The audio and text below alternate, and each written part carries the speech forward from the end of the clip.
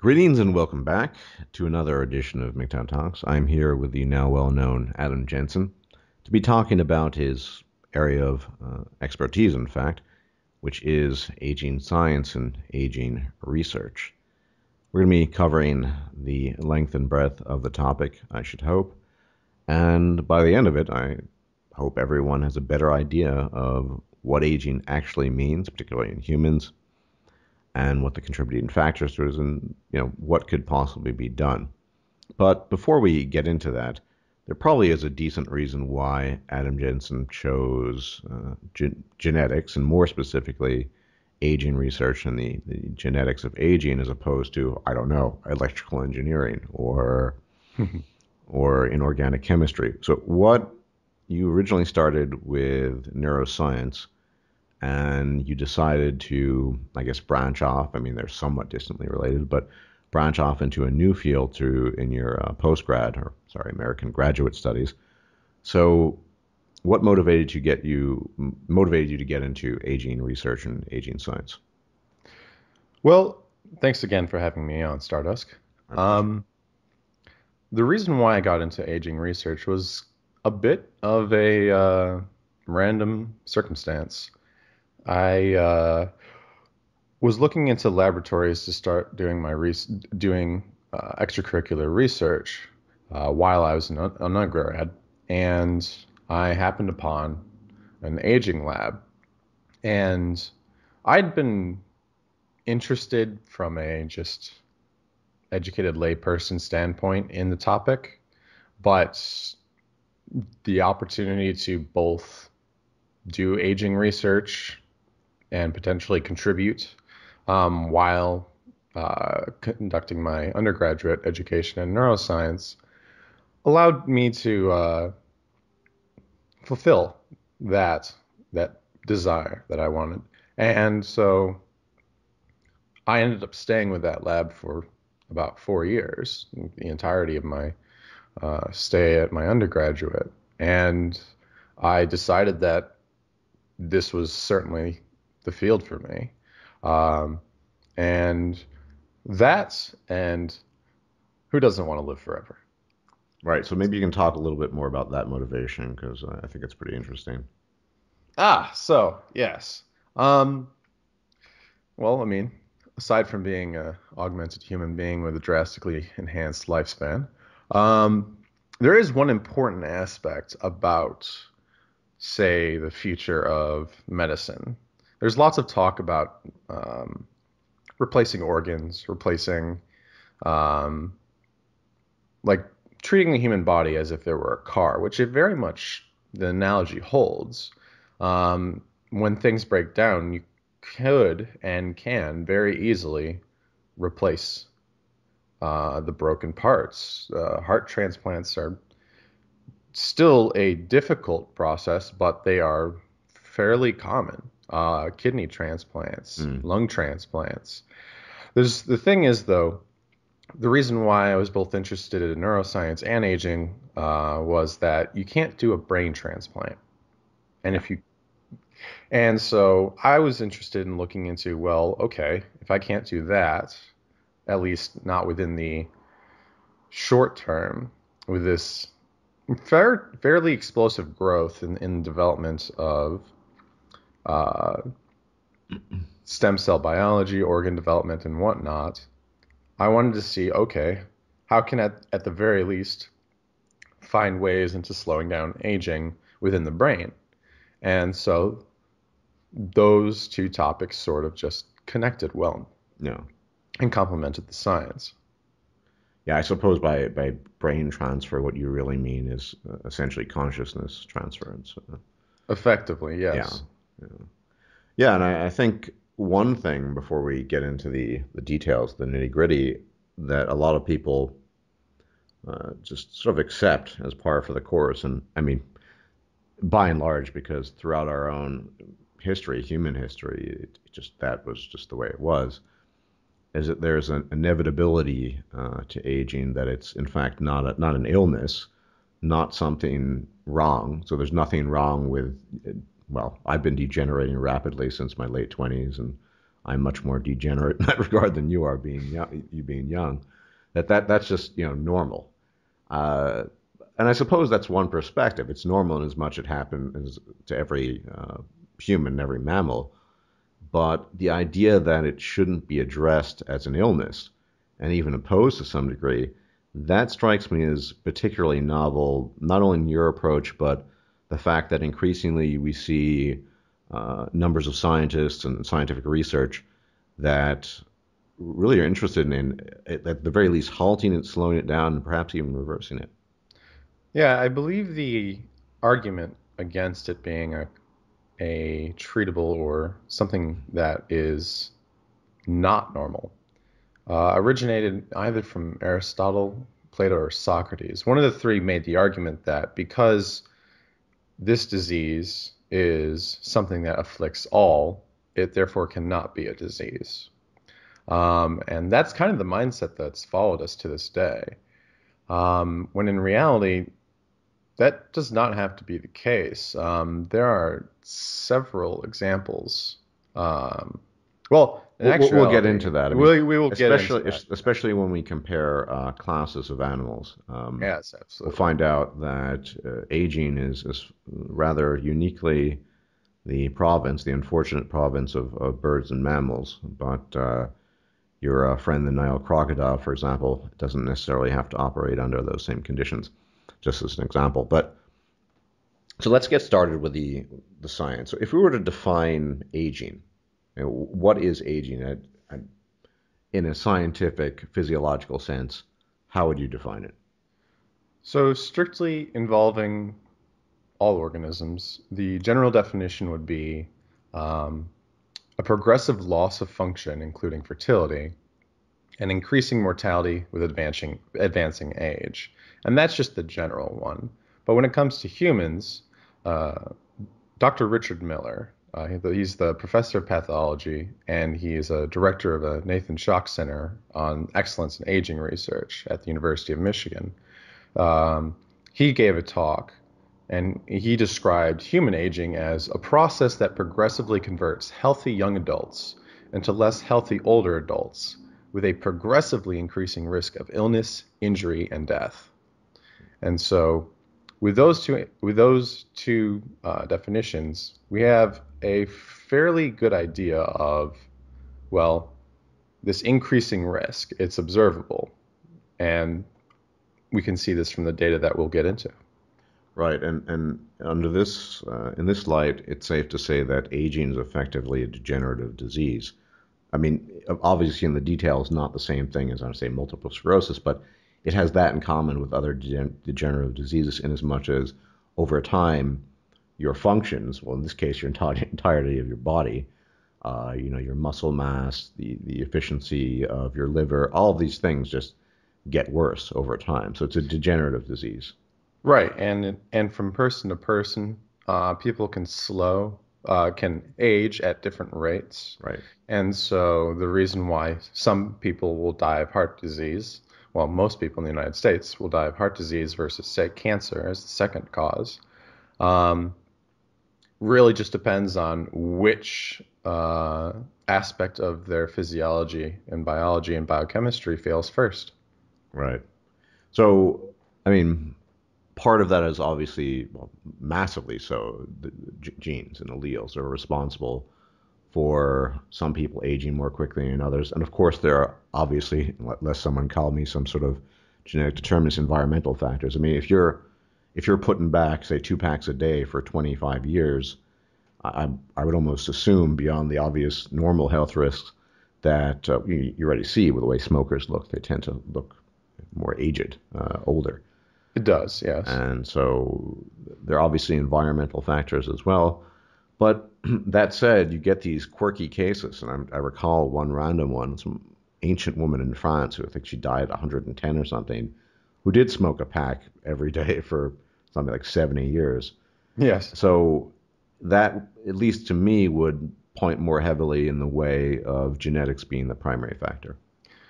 Right, and one of the initial findings that was established with these um, the term is uh, centenarians, or people who have lived past the age of 100. Hmm. Um, from a genetic perspective, early uh, research has shown that they tend to have longer telomeres, which are these little uh, snips of yeah. Uh, but just to quickly define them, there are these little snips of uh, DNA at the end of chromosomes that get chopped away with every replication, um, and have and they tend to have longer telomeres than the general population. Um, outside of that, behaviorally wise, um, the only uh, anecdotal um, behavioral traits that I've seen amongst them is that they tend to eat bacon and smoke cigarettes. yeah, traditionally, in light of well, certainly the, the, cigarette smoking is still well established to be not good for you, but absolutely the, the yeah. bacon is uh, a little bit more um, controversial, at least disputed in in light of a lot of the new evidence on saturated fat and what have you. But yeah, I mean, it just goes to show how effective that genetics can be, uh, and the humans in a long-lived human in resisting the damage that they cause to themselves. Yeah, yeah. I mean, those are the lucky ones. It's yeah. certainly a, a, minority. Generally speaking, if you're, you know, putting back, as I said, you know, two packs a day for 25 years, it's it's best not to play Russian roulette, which is to say, you know, maybe you lucked out and won the genetic lottery and smoking empowers you, but most of us don't have that uh, that opportunity. Indeed, indeed. And um, there is one other thing. Uh, there's a misconception about aging research that I get when I discuss it with people outside of the field, even within medicine and biology, but not necessarily in aging research. And that's about effectively them thinking, I'm trying to make their grandmother stuck in the uh, what is it, the nursing home for an extra 10 years miserable as a geriatric, which is not the case. Um, so we biogerontologists or geroscientists with gero or geron being the Greek word for old, what we try to research is means of making people live longer in the sense that when you are, say, in your 20s, it's the equivalent of having an additional 10 years of 20 year old youth. Mm. And so it's difficult, if not impossible, to make grandma in the um, nursing home live an extra 10 years because at that point, um, the damage has been done the damage has been done. Although there is uh, some additional re- uh, rejuvenative uh, research that has been done that uh, that we can mention later. Mm. Yeah. So I think the idea to take away here is that ideally, aging research, uh, geron bi- biological research, it should be thought of as, um, in as much as is possible, reversal or maintenance rather than than prolonging a, a particularly sickly condition or degenerative con- condition that uh, is unpleasant to everyone. Exactly. Exactly. Yeah. If one because that's what people want, and two, uh, simply out of practicality, it's just very difficult to keep someone who's sickly alive longer. Yeah. Yeah. Okay, so that's sort of the basis of aging and aging research and the goals. So, why should people give a damn about this? I mean, th- throughout history, people have accepted death as inevitability, aging and degeneration. Uh, you know, I've kind of accepted it. Uh, I noticed tremendous differences in my metabolism, my physiology between now and say 15 years ago.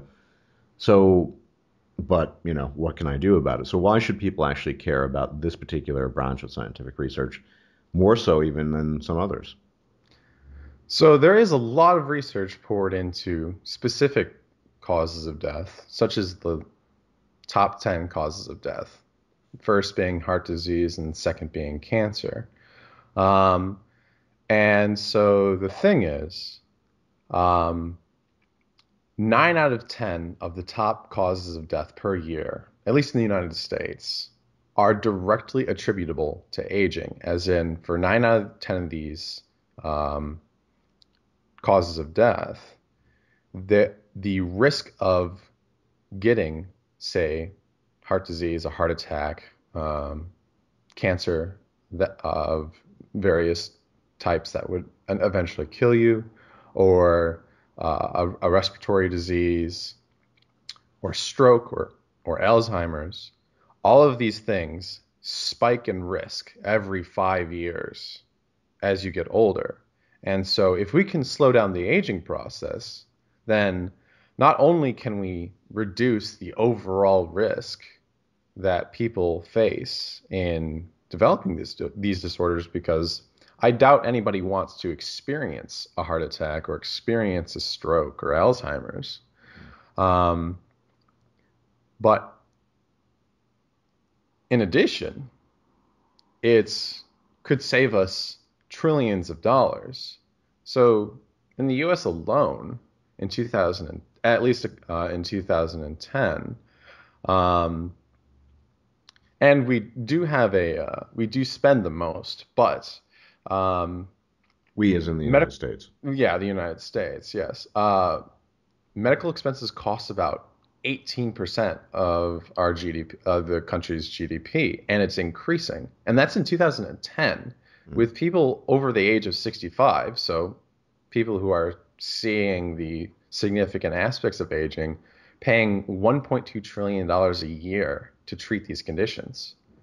And so, simple aging treatment, such as um, the effects of caloric restriction. So, one of the established uh, aging treatments that everybody and your uncle knows is that if you restrict calories, you live longer. Yeah, I, if, I, it's funny though because I don't think everyone and your uncle knows this. I mean, the fasting uh, is, it, in as much as it's a tool for a variety of things, particularly for aging. We should talk more about this, but I, I, I would venture to guess that it's still not accepted as uh, maybe particularly in the scientific and mainstream as something that's related to to aging and lifespan. Yeah, yeah, you're, you're right. Um, I, I, guess the most well-known, right. relative, yeah, the most well-known aging treatment, uh, caloric restriction, or just extreme dieting. Hmm. Um, so to put it in perspective, which is uh, which is itself contingent on, on macronutrient composition to some extent. Yes, should absolutely. point out if you're just if you're eating a thousand calories of sugar cane a day, probably not the solution. It's not going to work out well for you. So just to put things in perspective, um, again referring back to uh, Dr. Richard Miller, uh, he reported on some research in which using an example uh, average uh, 50 year old person, if we cured every type of cancer today, um, that average individual would expect to live an extra 2.6 years. So from 81 years old to 83.6 years old. And if we cured heart disease today, um, that alone would only add about 2.7 years to life expectancy, and both would be about six. So you'd live to, live to 87. Um, and so what you see is just just this bumping into well, okay, the first there's the first cause, and then the second cause, and then the third cause. You just keep on bumping into the next age-related cause of death. But the thing is, with this caloric restriction that I had mentioned, just that um, has three to five times the life expectancy of both curing cancer and heart disease combined. Your life expectancy as someone who is 50 today would go from 81 to somewhere between 110 to 120 years of life expectancy. Now, we, sh- we should be specific about caloric restriction because it strikes me as some, some fundamental problems. Being in a perpetual caloric deficit is not only very difficult, uh, but when when when scientists speak of caloric restriction in the context of aging, do they mean a very slight one? I mean, let's be specific about this because I think it's important. I mean, everyone, most people here have done diets, some for longer than others, and being in long-term caloric restriction, it's difficult. It's you know, you're irritated, all of these things. So what, explicit, what exactly are we talking about when we talk about caloric restriction, other than the obvious? Generally, in mammals, it means uh, 20% less calories than needed for maintenance right. weight. So, for example, if you're an individual, uh, if you follow, uh, say, that 2,000 calorie or kilocalorie, as it should be called, uh, prescription for daily diet, the caloric restriction would be 1,600 calories a day, as opposed to 2,000. I think a lot of people would struggle with that, though, to be frank. Right, and and th- this is understood in in the field of aging research, which is why we don't focus on how do we convince people to not eat or to eat 400 calories less a day and focus more on how do we like what causes this like why is it that caloric restriction extends lifespan we don't want to just stop at oh well we should definitely talk about that but it, it is a, a, fascinating, it's somewhat tangential, but a fascinating aspect of human psychology. It, something re- rather well known, we know has a much more profound effect on aging than, say, even curing cancer or heart disease. And yet, because of the nature of human psychology, it's, it's almost certain we couldn't get a majority of people to, on a permanent or semi permanent basis, drop their calories by 20% daily or maybe weekly, since that probably is a better uh, estimation. Uh, that just doesn't seem feasible because of human nature. For all the reasons that have been talked about prior, you look at things like obesity rates, ability to maintain weight loss, all these things. Um, it's it's really strange. It strikes me though also as something that, with the right medication, uh, could actually be implemented which is to say some some medication that would uh, appetite suppressants or things of that nature. And it's not even just appetite suppressants; it's it's medications that would directly target the pathway that causes this aging extension, this this uh, youthfulness maintenance, without you're effectively tricking your your body. You're tricking the body of model organisms into thinking that they're undergoing caloric restriction without undergoing caloric restriction. So you're tricking yourself into, into thinking you're dieting, but you're not. You're just taking a pill or you're just receiving a treatment. Right. Now, as, as for the reasons, I've thought about this quite a bit myself. And as we'll discover soon, aging is biological aging is related to, uh, to reproduction in birds, birds and mammals. My understanding is such that when you engage in long-term caloric restriction, uh, the body. I talk about tricking. You're sort of tricking your body in, in, modernity. This is of course ridiculous. You're not actually starving, but into thinking, right. well, we need to you know postpone reproduction. Therefore, we need to maintain the system at an optimum, as, or at least best as possible, in order for the time that later on, when we do in fact reproduce and then begin to de- degenerate. But um, it, you know, this is anecdotal, but there are all sorts of reasons why parents, for example, look ragged and tired and, and aged and, and wizened, but mm-hmm. it, it's this seems like a nigh universal, barring a few exceptions. That I see people my age uh, or even younger who have reproduced who just look significantly older than I do, or even just look far older than their age uh, would would uh, intimate. So developed wrinkles, gray hair. Yeah, I mean the, the, stress and uh, all these things, but but certainly reproduction must have something to do with it if we take into account its relationship uh, to aging and the fact that, uh, yeah, I mean, the, your body is, is has its best uh, intentions. It doesn't obviously have intentions, but metaphorically, intentions in preserving the entire apparatus of your physiology in order for you to reproduce later uh, if you induce this long term caloric deficit. So the interesting thing is according to a uh, a relatively recent paper in the journal Aging, um, there's a discussion about what's called alternative gerontology, and no, it has nothing to do with alternative medicine. Um, alternative gerontology is effectively this just this mindset of taking a look into the animal kingdom and seeing, okay, is aging universal?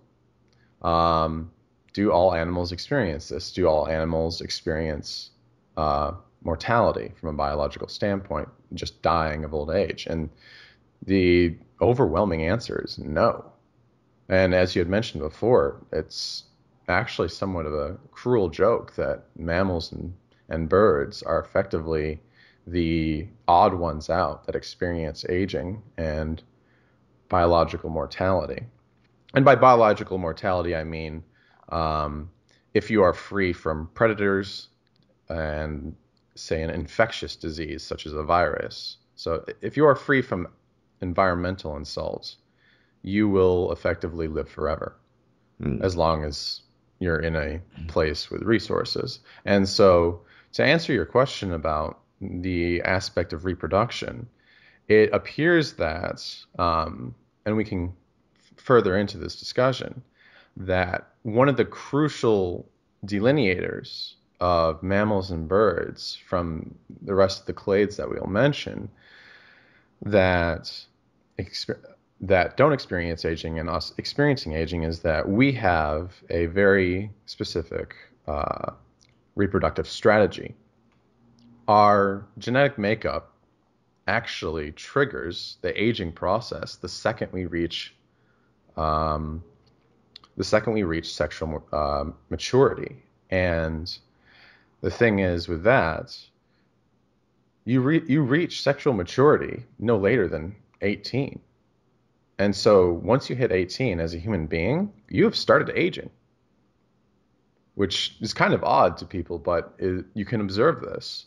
Um, and so if uh, one potential future target, and uh, there's been research done on this in uh, the roundworm uh, C. elegans, uh, the nematode, um, in which when using lasers, to ablate or destroy uh, two of the four cells necessary for developing their uh, gonads uh, for reproduction. It causes a drastic increase in lifespan, upwards of 20 to 40 percent. Hmm. Yeah, I mean, barring the practical concerns, say if we were like crocodilians of effectively growing forever, uh, I mean, there we would have to sort of adjust to that but yeah, it sort of becomes an arms race once you hit 18, and uh, I mean, I guess we could say uh, up to about 25, you're more or less in your prime, give or take. Uh, after that, it's just downhill. I always usually just say after 25, it's downhill, but yeah, I mean, technically, after 18, as far as actual growth, uh, it, yeah, things start to uh, fall apart. Now, sorry, go on. Oh, I was just going to say both are correct. Uh, 25 for mental 18 for um, 18 for just overall biological. Right, which is to say, you know, you're you're up, but I'm I'm talking about when you see like decreases in serum testosterone and things like that. Right. right after 25 is really when it starts to kick in and just rapidly picks up, and yeah, well, welcome to the world of degeneration. Yes. Now I've been thinking for a while about why this is the case. I mean, there must be something going on with birds and mammals that is is different. The only thing I could come up with is that birds and mammals tend to be the most intelligent animals, uh, more developed brains. Maybe there's some relationship there. Maybe it's a question of just energy expenditure. You know, all that energy that has to go into the the creation, uh, maintenance of, of say a huge brain, a very complex brain. I, I don't know. I'm just I'm just sort of throwing shots out in the dark here, but um, may, maybe it's just it is just a cruel joke and just a, a quirk of fate. I don't know. So it, it, it really can be tied quite tightly to uh, sexual reproduction biological programs or genetic programs. Um, so, for instance, again, the friendly C. elegans, the nematode. Um, Maybe you should has, explain to the audience exactly what that organism is before we So uh, C. elegans is a is a roundworm, uh, which is no longer than a millimeter in length, which has been, became become a well-established model organism in various fields of research for multiple reasons. Um, one, its genome has been entirely sequenced, and it's incredibly easy to do so simply because they have a very quick uh, reproduction rate. Um, so you can get large samples very quickly. You can get clonal samples very quickly, or you can get samples of, of populations that are genetically identical because C. elegans are hermaphrodites and can self fertilize. And so if you put one worm on, say, a uh, plate, within a few days, you'll have hundreds of clones. Um, and so that has multiple advantages in just genetics research. Uh, whereas, say, with like with mice, you would have to do breeding uh, f- for a long period of time in order to get the same level of populations and uh, genetic identicality. And the thing is, they are translucent, so you can very easily you can very easily see uh, the uh, intestine of the organ or uh, organism, uh, as well as other major body parts, um, and you can observe things like the quality of their their subcomponent makeup. You can observe that the older the worm gets, the less organized, the more disarrayed they appear. Um, allows for experiments with fluorescence. Say, if you wanted to tag a protein or a gene um, with something that glows in, say, uh, green, which we would use uh, a green fluorescence protein. Um, due to the nature of them being translucent, it's incredibly easy to see it under very minimal magnification. And you can do this very selectively. Um, so, C. elegans are an incredibly uh, useful organism for various types of research and have really found a, a, strong niche in aging research for pretty much all of those reasons mentioned. Uh, and the interesting thing is, these guys die in 16 days, at most 30 days. Mm-hmm. Um, and they only have 302 neurons. Um, they are they're, they're they're no birds. They're definitely no humans, so they're not intelligent. Um, they can develop memories, yes, but it's in, as simple as it can get. Uh, even jellyfish have a, a tenfold uh, higher number of of uh, neurons than elegans. I, I, believe the number is about 5,000 neurons as opposed to 302 for C. elegans. And so it's interesting that you, that you see aging and biological mortality or death from just simply being alive um, in animals that aren't intelligent, aren't really going through them uh, the same processes as humans, except uh, reproduction. Right. Now, as we get into why the, the, theories and ideas as to why we age, and some we know some and some we don't. Uh, one idea I, have observed, it seems somewhat related to predation. Um, I forgot the name of the species. There are some species of clam in the North Atlantic. It just uh, seems to just live forever, hundreds of years. Ocean quahog? It might be that one. In any event, um, it, it, if you don't have to deal with predation, well, well, let's look at some of the uh, short-lived uh, mammals that are often used in research, like rats and mice. Mm-hmm. Um, these guys tend to live very short lives, uh, reproduce uh, in large litters, and in the wild, where they're not being kept in, in labs, I mean, different cat species uh, uh, predate on them, uh, coyote, you name it, you know. So it's in their interest to just become sexually mature, mature and reproduce as much as possible because chances are they're going to be uh, devoured or uh, chosen as a prey item. If you've got all the time in the world, um, then why bother with that scheme? You know? Yeah, and you can you can actually see this behavioral shift in humans. Um, so, for example, uh, human lifespan was about 34 years maximum during hunter-gatherer days.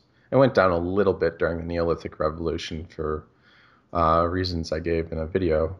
Um, that, but uh, after the Industrial Revolution and the increase in lifespan, um, you start seeing people pushing off having kids to 30, which is just insane compared to what our our ancestors were were expecting. Twenty thousand years ago, seventeen or eighteen probably would have been the age in which you reproduced, and probably even fifteen or fourteen. Yeah. It's it's just yeah, it, it's it's it, it's it would be quite a shock to our behavioral human ancestors to see us reproducing it at 30 and then living for an extra 47 years on average. Mm. And so, yeah, like when when lifespan is extended through just basic nutrition, as we've seen with humans, and um, uh, a lack of predation, as seen with both humans and and the mice and rats that you've mentioned, um, yeah, you can see a slight shift in reproduction. Um, and there's some relationship there. I think it was CS who mentioned. We'll get into telomeres in a bit, but oh yes, between telomere length and that, you know, it strikes me there is one uh, one group of people, uh, the famous chavs from the UK, who they tend to carry on the hunter-gatherer tradition. They many of them reproduce between uh, 14 to 16, in some cases even 12, and their children tend to oftentimes carry on the tradition of being very young or middle middle teenagers and reproducing. Uh, this strikes me as well, given what we know, probably not the best best health measure long term. No, but it goes in line with our behavior, with our instincts and our genetics. Yeah. Oh, absolutely, yeah, yeah. And I'm presu- these people are. I mean, that's another thing. Um, we observe Def- this. We can tie this into this general uh, phenomenon we see across the industrialized world, where educated people uh, with decent income, which roughly corresponds to IQ, not always, but most of the time, most of the time, tend yeah. to tend to hold off, hold off on reproduction, and to the extent that they do engage in it, uh, have few children compared to the days of yore, or you know some of these uh, young teenagers in these from the socioeconomic class who you know have two or three by the time they're they're 21 already, and so it, it, there's a kind of similarity there, I guess, in uh, that I guess the more complex, if you will, human beings tend to, neurologically speaking, tend to be much more circumspect and, and plan uh, much more long term than, well, people who aren't as intelligent or educated. Yeah, exactly. Um, yeah, and and wealthy as well. Um, yeah, I mean, in as much, I mean, there are a few exceptions, but in as much as wealth corresponds to intelligence, the ability to sort of make and create wealth, but yeah. Oh, and and reproduction. Just yeah. the wealthier you are, the less kids you have, even in the Islamic world. Yeah. Yeah. So uh, this seems to be sort of consistent throughout all species, I guess. yeah. Yeah. Quite. Um, all all sexual reproductive species, yes. Yeah. But the thing is, um, the animals, uh, to get back onto this notion of us being mammals and, and avians, being the odd ones out, um, it really does appear in the, in the majority of the uh, classes of animals, the, the clades, um, of animals that either, one, don't age biologically, and the term for that is senescence or non-senescence if you do not age.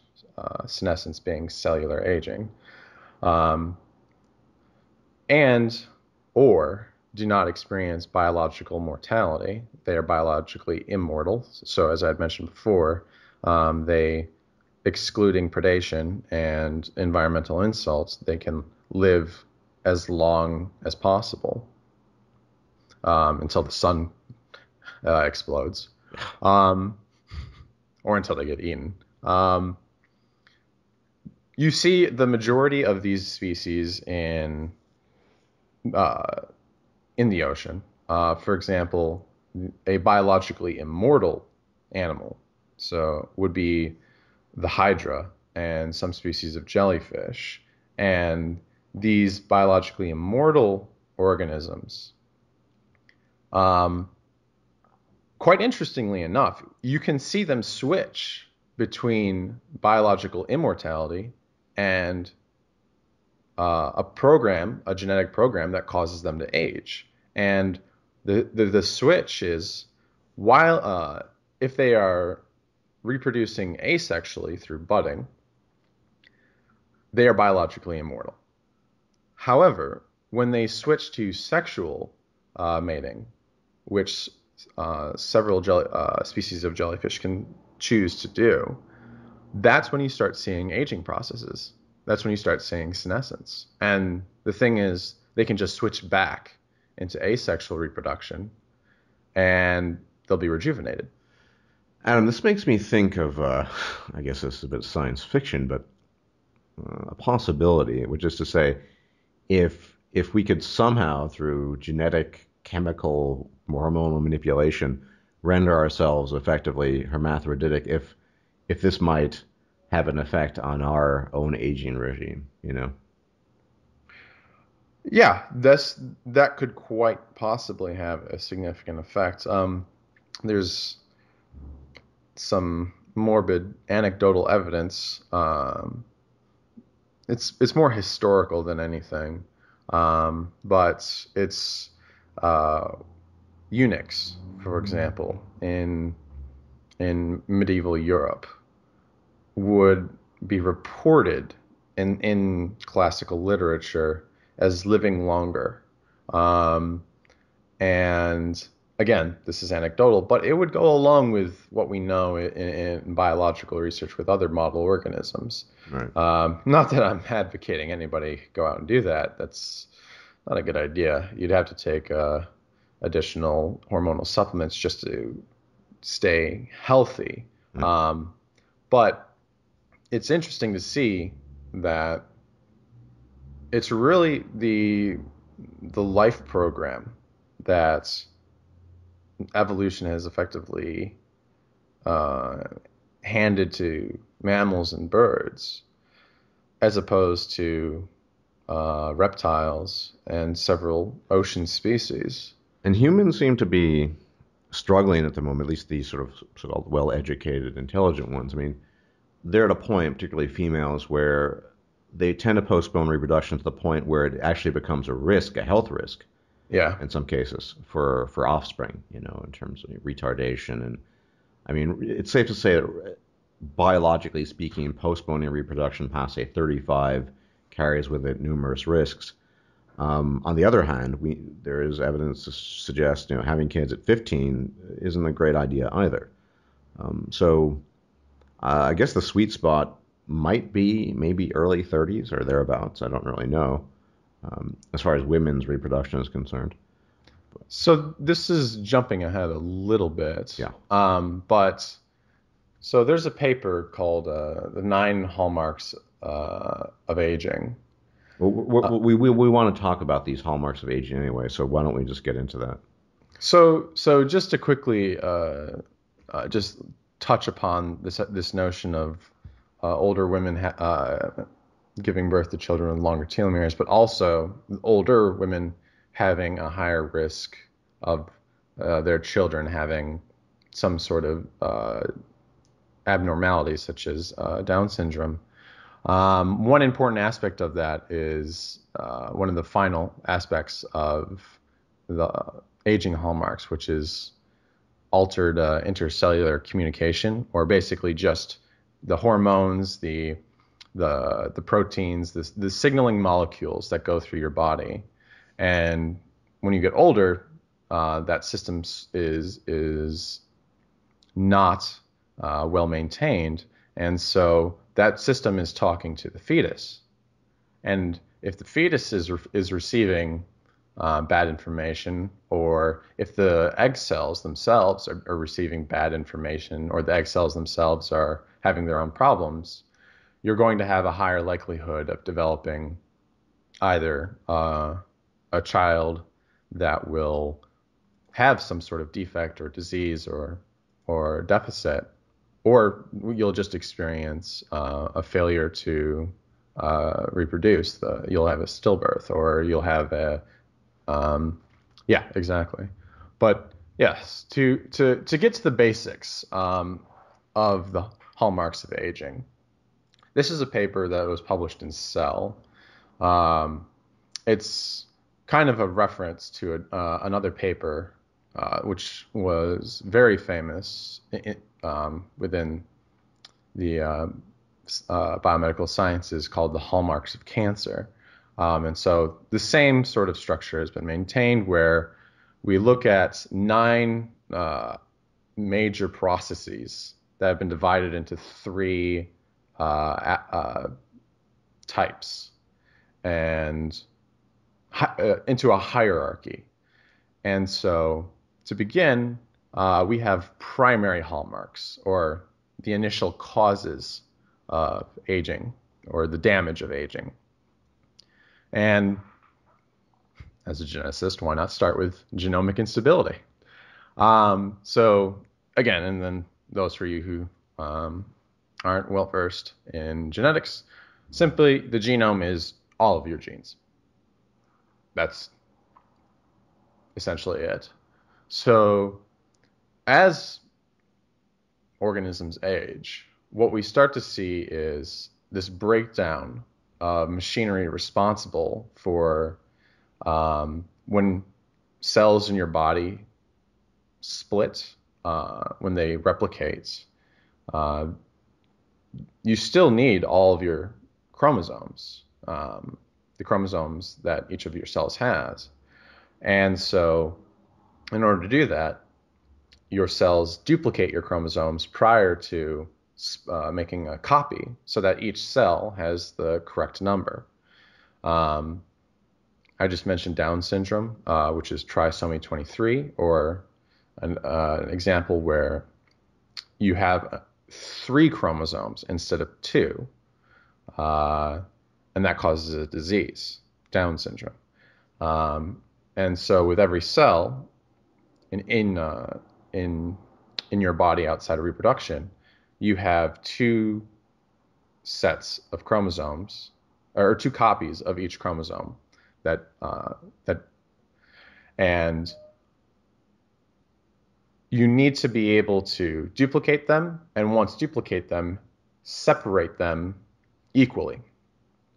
And so when you age the, the mechanisms that do that separation they fail to do so. So what you'll have is for example um, you'll have one cell that has that's trying to divide. So it starts off with the 46 chromosomes that human ha- humans have, doubles it to, to uh, uh, 92, and when it splits into two cells, um, you might have one cell that has 45 and the other one that has 47, and that could cause both of those cells to fail uh, to kill themselves. The term is apoptosis when a cell kills itself, and that's one major or that's one significant aspect of cellular damage or uh, of genetic aging, and there's also the accumulation of mutations uh, due to just being alive and the tools that repair your DNA breaking down over time, as well as the tools that repair the DNA within um, your mitochondria. And so this just accumulates and accumulates with age. And, and early on, it's not a problem because you're young and, and you can you can replace these cells. You can these cells can be removed. Um, and the risk of, of this happening um, doesn't necessarily is not necessarily very high at a very young age, but as you get older, it it drastically increases. So there's already uh, effective research on addressing this first uh, hallmark, and that is um, there are genes that check for genomic stability, and when you enhance these through various methods um, in mice, you see an increase in lifespan uh, and a decrease in risk in cancer as well. And it's a promising technique, and it could very well uh, uh, see effective trial in, say, for instance, the manipulation of embryos that's being done in, in China with uh, gene editing. Now let's move on to the next bit, which is we've already talked about telomeres. Maybe we should get in a better, uh, greater depth here. So let's talk about telomere attrition uh, and the relationship, uh, the process, telomerase, and, and all of that good stuff. Certainly, certainly. So as I had mentioned before, telomeres again are effectively these protective caps on chromosomes that protect them during replication. They're like the uh, if you wear sneakers or if you wear any type of shoe with a, a plastic cap on the end of your uh, shoelaces, that's effectively what a telomere is. It's it's the thing that prevents the fraying, the chopping away, um, and so every time your cells divide, every time um, because you're growing constantly, uh, or your cells are being replaced constantly. Um, what happens is that replacement process, as I had mentioned before with the uh, genome segregation and the copying of chromosomes, these telomeres get chopped away at. And so with every replication, it gets chopped more and more and more and more. And as soon as it starts hitting actual DNA that you need, genes that code for proteins that you need, uh, that's when you start seeing cellular death and, and problems. And so it's no surprise that you see that centenarians tend to have longer telomeres than uh, shorter lived humans. Mm-hmm. And there is there is an enzyme. There is there is a tool that cell that the cells and uh, organisms have that main, that can maintain these these protective caps, and this is called telomerase. And effectively, what telomerase does is when the telomere gets cut down, uh, telomerase rebuilds it back up. And so in humans, it's very weakly expressed, um, especially once we hit sexual maturity. And if anything, it's it's it's widely disabled. However, um, using the example of an organism that is not immortal but is d- does not show si- signs of aging, can live for potentially hundreds of years, uh, the humble lobster, uh, you see telomerase expression throughout their body, high levels of telomerase. And so this could be a potential explanation as to, or partial explanation as to why lobsters don't age, uh, whereas humans do. And so there is this uh, additional idea that, well, if you just keep on extending telomeres, well, Adam, don't you know that cancer cells also have uh, enhanced telomerase and uh, activity?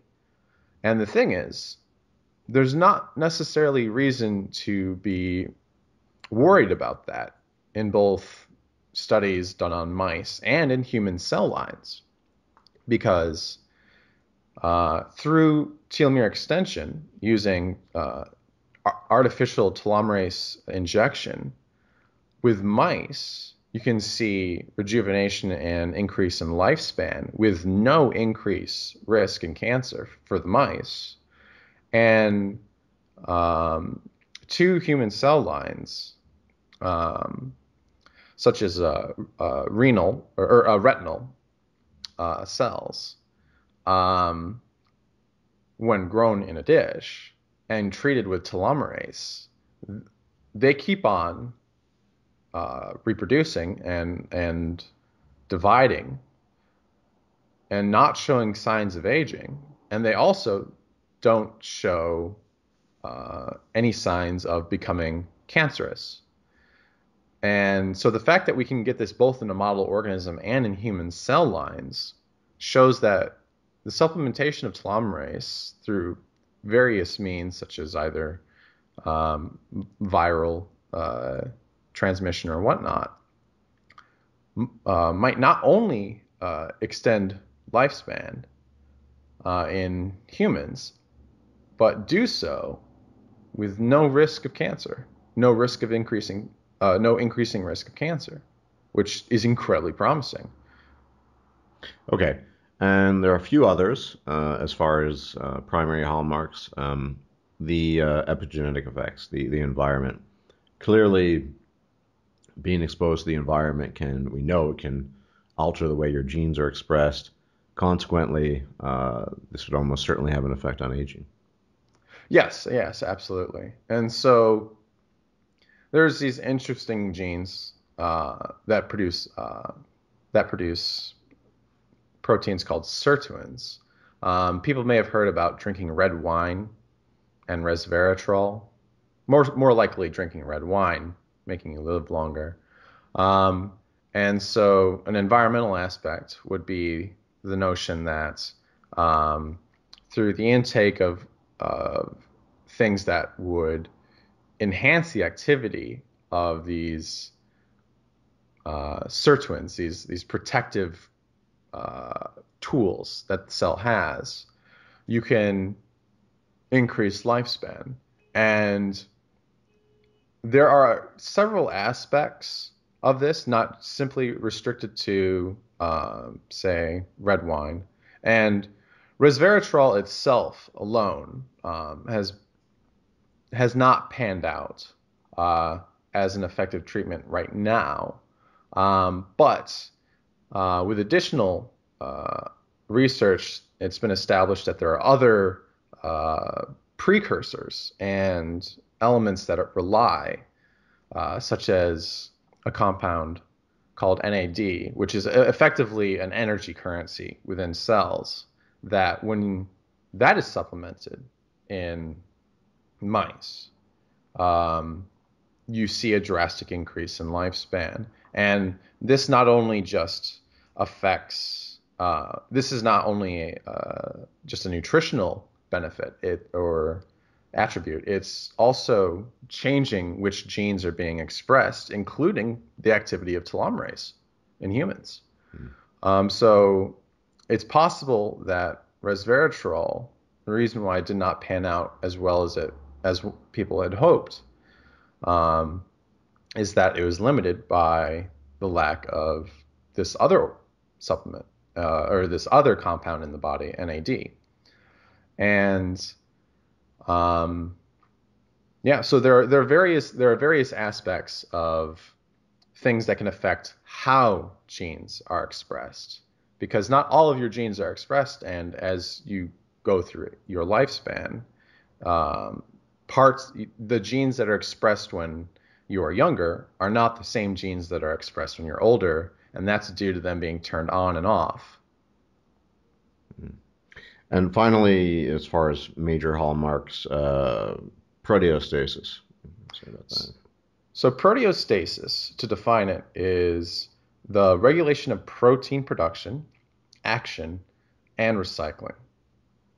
And as animals age, this process gets disrupted. Uh, for example, there's Alzheimer's. Um, and Alzheimer's uh, the current understanding is that it's heavily related to the buildup of misfolded proteins called amyloid beta plaques. Um, this is also related to autophagy uh, in the sense that the uh, one of the quote unquote garbage bags of the cells, uh, the things that go around and eat up uh, misfolded proteins um, that can be induced by intermittent fasting. Um, this uh, these autophagosomes, uh, the the subcomponents that conduct this behavior, they themselves slow down. Uh, they start to fail, and they start to uh, not be able to recycle these these types of problematic uh, proteins. And you can enhance the, uh, another class of these quote unquote garbage disposal or incinerator uh, organelles, uh, the subcomponents, and through enhancing lysosomes. Uh, these are the again like the incinerators of the cell. Um, and there are several treatments that have already been conducted in mice, uh, showing that by simply enhancing lysosome activity and by effect autophagy, um, simply through various drug treatments, in both mice, C. elegans, and human cultured cells, you see a drastic increase in lifespan and in just uh, the observed biological health of these cells. And so these four things that I've uh, that that we've covered: the genomic instability, the telomere attrition, epigenetic alterations, and the loss of proteostasis.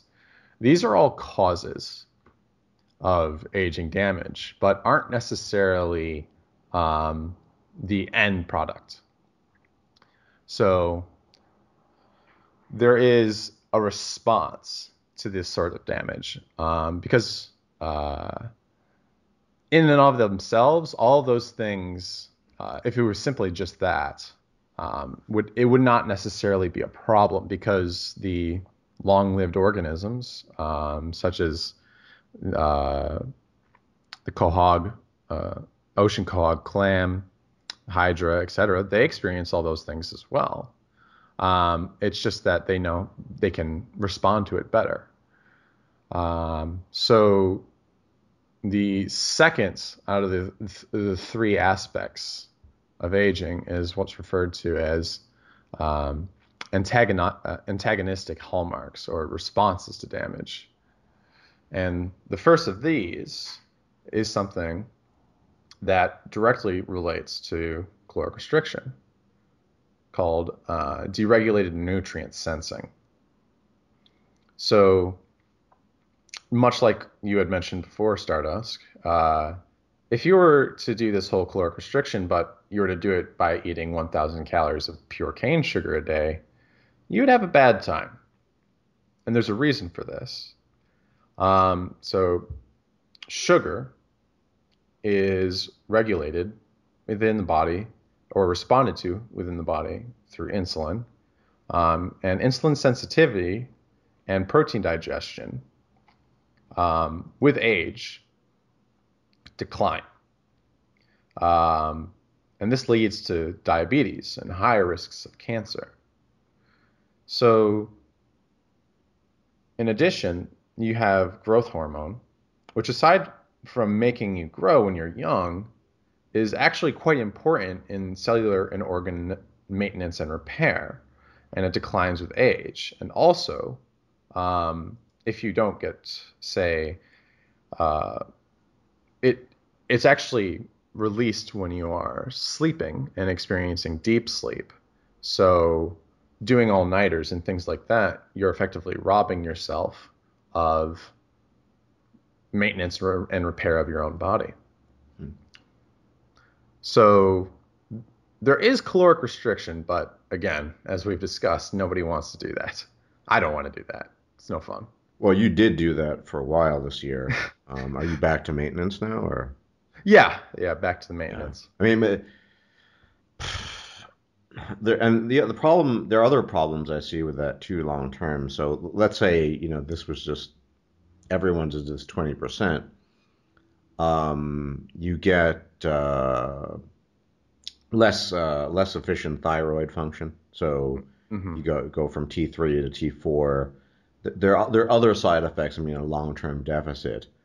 Uh, it, it's kind of, it seems to me one of the sort of the paradoxes of, of aging research just in general that you know being in a, maybe a way around that is is uh, to be very just balance it out during the week and then choose certain days um, as well as things like you mentioned like autophagy which which you know given a sufficient span of, of time between when you're eating can uh, can take effect. But yeah, I mean, given the problems people have with nutrition and eating, uh, this seems to be as simple, probably the, the simplest to implement and yet the most difficult for completely different reasons. Absolutely, absolutely. Yeah, if only, if only food weren't so sparse when we were around 100 to 200,000 years ago, or yeah, showed if up. Only one of my great addictions. Yeah. So the thing is, um, in response to this whole paradox, uh, the reason why I say 20% caloric restriction and not like down to like 50%, if you go too low, um, as you had mentioned, yeah, you, you do get thyroid issues. You get like you you would start. Actually, it's not just too late. It's just it's the it's the prolonged. If you're just doing it for weeks and months and I mean you're your body tries to compensate by, uh, like I said, you know, decreased uh, thyroid, thyroid activity. Um, your testosterone levels decrease. It's just, you know, there are lots of side effects. Nothing fatal per se, but kind of suboptimal. You, you'll you, you will live longer. You'll have less diseases, um, but you're not going to feel very great at the same time. Yeah, that's uh, that's kind of the issue. So that's the reason why uh, gerontologists such as myself are looking for ways to trigger the same mechanism uh, without necessarily having to cause nutrient deprivation. And so we actually already have treatments that work this way. Um, there's a, uh, several drugs, uh, such as rapamycin, which is a actually uh, an immune suppressant used for uh, tr- uh, people receiving a transplant in order to prevent transplant uh, rejection by the the uh, person's immune system, and metformin, a, a, diabetes drug uh, that was developed in 1930s. Um, both of which rapamycin more so, but both of which show strong and very consistent evidence throughout model organisms of being effective treatments. And there's even some anecdotal evidence through humans who, who take metformin of living slightly longer than uh, individuals who do not who take different diabetic medications. Hmm. Now, there, uh, as far as other responses are concerned, there are a few others. So, mitochondrial dysfunction. Let me talk about that. So, mitochondria, um, if uh, people uh, aren't as well versed, there's a a quick analogy for it. They're effectively the powerhouses of the cell. They produce energy currency, like um, ATP is effectively an energy currency. Um, but in order to produce the energy that the cell needs, there are some externalities. Um, much like the power plant uh, in the uh, early days of the Industrial Revolution, uh, and to this day, uh, shooting out soot into the uh, atmosphere and, and, carbon dioxide, uh, our individual cellular powerhouses produce what's called a reactive oxygen species. Um, so when people hear about antioxidants, uh, these are the oxidants, the oxidants that can cause damage, but actually, um, initially, are actually useful. Um, so these uh, oxidants are actually a warning signal to the rest of the cell being released by the mitochondria saying, hey, something's going wrong here. And so this causes the cells to release repair proteins and repair tools to fix whatever issues that they're facing. The problem is um, when you do get older, uh, you these mitochondria produce more and more uh, oxidants, and the initial beneficial aspects of having these oxidants around turn paradoxically now become uh, one of the causes of cell death uh, as they produce too much for the cells to handle. Um, and so, again, there's already effective treatments that have been developed, uh, at least in mice, and in, in um, and what that's called is uh, enhanced mitophagy, or the autophagy, or the eating of damaged mitochondria, and as well as the oxidant responding uh, proteins, the sirtuins that I had mentioned before. Um, they're the ones that res- that hear this oxidant alarm bell and go and uh, produce uh, cell repair and cell enhancement, essentially. Hmm. Yeah, and finally, cellular senescence.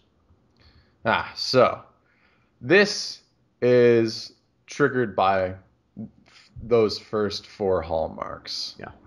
And so individual cells senescing or aging uh, can be fine and even useful. Um, like senescing and dying. For example, just over the course of this conversation, um, millions of skin cells have died. Yeah. Uh, and so this is for your protection, though. And the cells can reproduce and make up for this quite easily.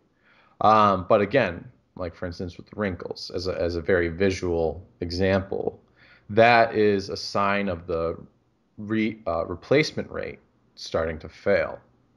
So um, when more critical organs, such as uh, the heart and the brain, when the cells there start to experience senescence to a degree that can't be addressed or um, replicated or, or, or, or uh, refilled, um, you either experience cancer, whereas the cell has experienced the aging process, but has um, instead of dying, um, it just switches to uh, a mode of uh, of becoming a cancerous cell, sort of as a self protection mechanism, um, because it doesn't want to die, um, or those organs just fail, and that's when you start to see, say, Alzheimer's uh, death from Alzheimer's or death from kidney uh, liver disease um, or things like that.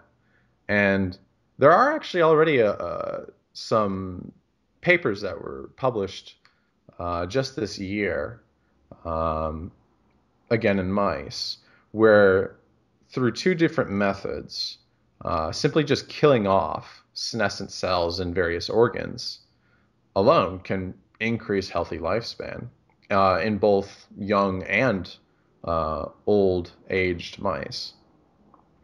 Hmm.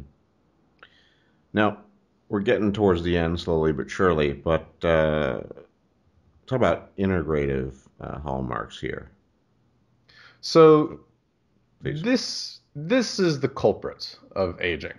This is like these are the things that effectively when all of the things mentioned prior start happening. Um, you get two culprits stem cell exhaustion and, as I'd mentioned before, altered intercellular communication. So, to start off with stem cells, so for the few people who don't know what stem cells are, they're the cells that uh, effectively uh, replicate and turn into the, desired cell of whatever organ they're in. So there are various types, such as embryonic. Embryonic stem cells can turn into any cell. Adult stem cells are more specialized and can and can turn into several types of cells, um, but they're usually uh, limited to the types of cells of whatever organ they're in. So, say um, in the brain, an, adult stem cell in the brain might only be able to turn into a neuron or uh, an astrocyte um, or some other uh, cell that you would find within the brain. Um, so the animals that I'd mentioned before, such as uh, lobsters, ocean quahog clams, and the hydras, the non-senescent and the biologically immortal animals, have stem cells that appear to never get exhausted. Um, they can just keep on going. They have some mechanism that we don't fully understand that allows them to just keep reproducing, reproducing, reproducing, and that allows them to maintain youth. Uh, unfortunately, mammals and birds don't have this trait. So stem cells age with the rest of the body because of all these problems that I had mentioned before. And because these stem cells are necessary for re- uh, replacing and keeping the quality of your organs up to operating qual- uh, uh, the uh, the level of quality needed for operation, uh, their failure effectively means organ death and then human death. So this is another area where telomerase has has been shown to lengthen the life, uh, lifespan of stem cells and can be used. Oh, and um,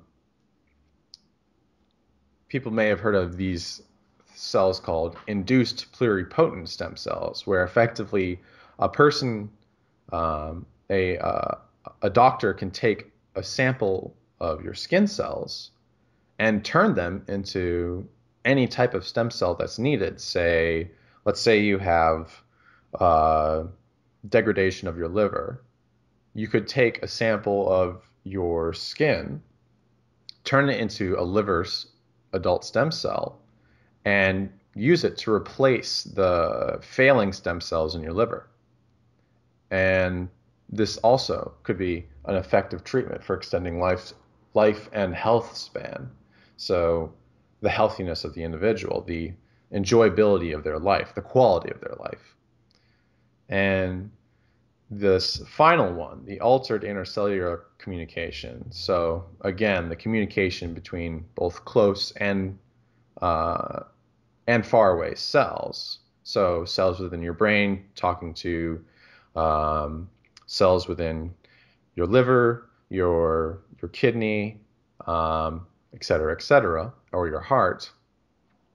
Um, the signals that are sent between cells um, are disrupted, too much signal, too little signal, or the wrong signal can be sent as these the organs sending the cells start to fail.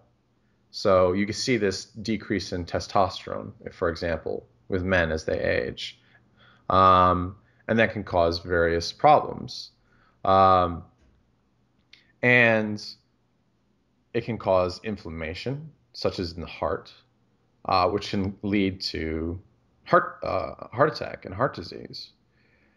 And so, um, in order to address this, there's this quite promising uh, research study that already has a uh, clinical trial in humans as a result, in which using uh, blood from young mice and putting it into old mice causes almost entire body rejuvenation. So you see uh, these old mice having more youthful muscles. They move around more. They can do more uh, laps on the um, what is that? That the uh, wheel that they like to run on. Uh, you see, uh, and quite importantly, uh, something that I've mentioned is important to me is that you see cellular rejuvenation just from blood donation in the brain. You see uh, the growth of new neurons, neurogenesis, uh, to replace the dying ones, which is amazing. Something as simple as a blood transfusion, something that is taken for granted nowadays. Um, and so that's the reason why, why this massive discovery uh, has quickly turned into a clinical trial uh, where men under the age of 30 uh, are donating blood, and that blood is being used uh, in transfusions to Alzheimer's patients to see if it can be an effective treatment. And the benefit of this is the fact that because blood transfusions are already done all the time, you get to skip all the safety trials. And so we'll get results much quicker. Mm-hmm. And so overall, these um, these are the proposed hallmarks of aging in us unfortunate uh, oddities in the animal kingdom. Hmm. Now, I suppose we should. Well, I don't. Do you want to address overpopulation? I don't really think uh, that's necessarily revel, relevant uh, to aging per se. have, you, have you had to deal with people uh, talking about it, or? Uh, in in my personal discussions with um, individuals that are outside of the field of aging, um, more often than I'd like, they bring up overpopulation as an issue. Um, in, in, regards to aging research, not necessarily in regards to uh, population in general. Um, they would point um, they would point out things like, well, currently, and, and I would agree with them, currently uh, we're our population numbers are just starting to um, plateau. Uh, the the rate of increase in human population on the planet is starting to slow down uh, for the first time in the last 200 years, which is is pretty good. That, that means that we won't necessarily uh, drain the resources of the planet too quickly. Um, but when I mention that, say, I do aging research, um, some people will mention that, oh, well, if you do that, then that just means we'll have more people on the planet. And that's not a good thing. Um, and the thing is, though, this has, again, been addressed before. Um, if you're living longer, um, as has been observed uh, across culturally, you just have less kids, and those kids are healthier.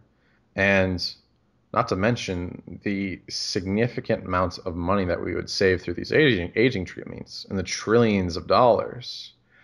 Um, if anything, could potentially increase the ability of countries to afford mm, switches to renewable energy and increase the carrying capacity of the planet.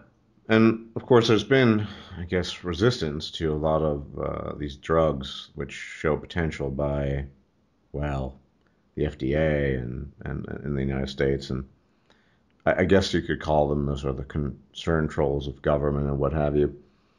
We talked about, uh, what, I don't know if we actually mentioned this publicly, but certainly the prospect, perhaps we did, of harnessing gynocentrism uh, to oh yes essentially uh, invest more in, in aging research. I mean, everyone knows that more so than men, at least from a socioeconomic standpoint, women women aging is a much more important issue to women as far as reproductive success is concerned than it is to men. Um, and generally speaking, we give women everything they want. So I suppose one way to pitch this is to say, well, look, uh, you can stay, you know, more youthful longer. I mean, most, if you told uh, a woman who's uh, about to just massively hit the wall at 30, hey, we can give you another 10 or 15 years, uh, I'd imagine most women would would love the idea. And you know, we tend to give women everything they want. So, uh, what do you think about that angle for promoting uh, further aging research and, and sort of limiting restrictions.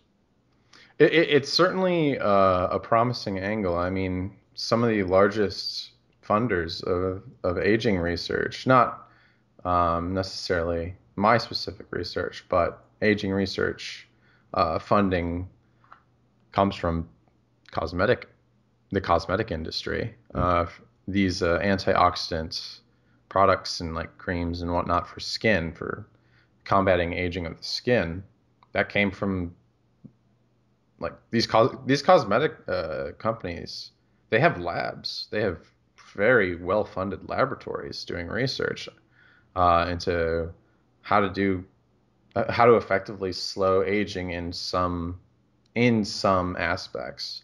Uh, there are other uh, m- tactics, other other ways of bringing this about, and one of the things is uh, in the United States, at the very least, uh, dogs are very very well loved, um, and so one means of trying to bring awareness to the value of aging treatment is um, there is a group of gerontologists who have started a research trial where they um, invite people with middle-aged to older dogs to take an incredibly low dose of rapamycin, um, low enough so that it doesn't cause the the problems of the typical dose used in humans and in mice,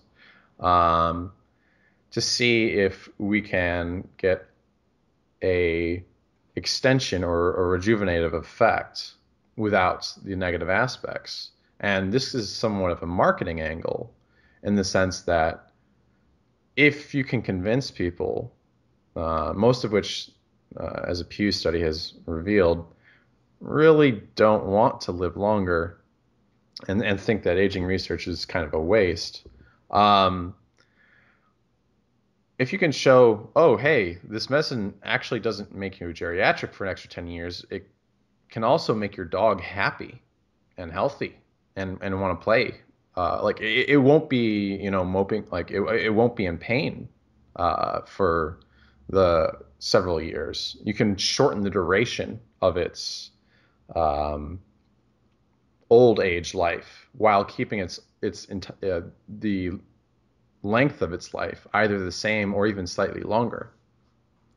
So this is one um, a higher research level. So jumping from mice and not necessarily directly to humans, but to a higher organism, to dogs. Uh, but also just mm. to market it. Yeah, it, it's it's a seems, it's seems to me that whenever it comes to science and research, in as much as it's sort of there's always some public element whether it's government or not. Absolutely. Need to make it uh, appeal to emotion. You know, make women feel good about themselves. Uh, people like their dogs people just can't seem to wrap their head around the idea uh, of, of, of the science itself or really interested in the prospects of the science itself. It, it needs to some, be some combination of emotional, pragmatic reasoning on their part that actually then motivates them to endorse this sort of stuff. It's it's kind of a shame. I mean, it, it not. It's I guess it's just a, it's unfortunate characteristic of most human beings that um, say in order to get research done in aging, you need to you know, make women aware. Oh, you'll look good for another ten years, or some incredibly banal crap like that. But yeah. hey, you know, uh, I guess you have to work with the tools that are available, and the tools that are available are you know people liking puppy dogs and dogs in general, and and um, people wanting to placate women's every wish. So. But there is actually one incredibly practical reason, um, and this is actually uh, probably one of the most important motivations that I should have mentioned earlier. Um, we're not figuring out faster than light space travel anytime soon.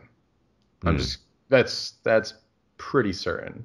Yeah. Um, and so as a result, um, if we're gonna want to do extended uh, space travel, space travel outside of our own galaxy.